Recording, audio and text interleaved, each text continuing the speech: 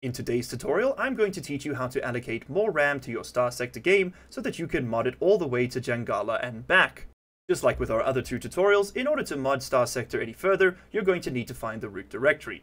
On Windows, this is located under your local disk C if you use the default install directory, Program Files 86by, Fractal Softworks, Starsector, and this is the file we're dealing with today, vmparams.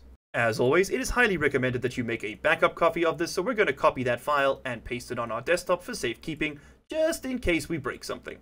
Right now, the file is currently not in a format that my computer knows how to understand, so we're going to have to tell it to open itself up with Notepad. You will now be presented with a long and slightly confusing line of code. However, you don't need to deal with any of this except these two values over here.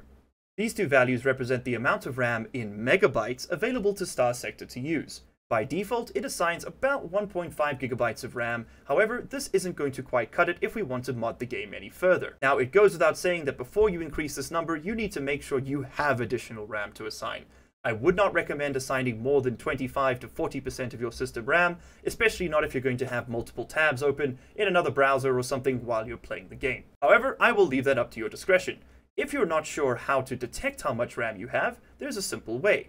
Head back over to your Windows Explorer, right-click on this PC, switch over to More Options if you're on Windows 11, or just Properties if you're on Windows 10 and lower, and that will show you right over here the amount of installed RAM currently available on your system. In my case, I have 32 gigabytes of RAM available, and that means that I have a whole lot of room to play with. Now, in order to work out what number we need to type in here, we need to do a little bit of simple maths.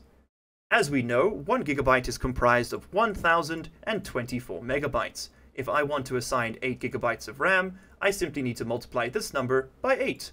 This gives me an answer of 8192 that I need to type into this space over here. Be super super sure that you do not delete any of the characters before or after the number. If you do, it will not work.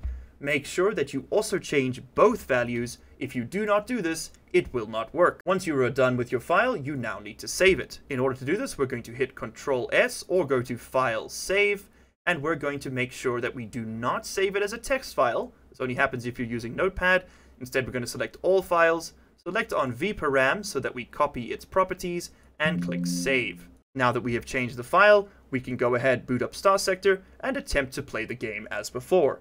If the game crashes on start, simply replace the vmparams file and try again. If this seems like too much hassle for you and you would rather just replace the file with one that has been pre-configured, I will link you to a forum post in the pinned comment and the description that will take you to five different values you can pre-install. 1.3 gigabytes, 2 gigabytes, 3 gigabytes, 4 gigabytes, 6 gigabytes, and 8 gigabytes. And congratulations! Once again, you have made changes to Starsector successfully. Yay! If you enjoyed this tutorial or in any other way found it helpful, please place your mouse button atop the subscribe and like buttons and press down at least once, not twice, perhaps thrice. Thrice is also fine. If there are any other features of Starsector you would like to see me explain, if there are any other questions you might have, please leave them down in the comments below. And as always, I'll see you guys in the next one.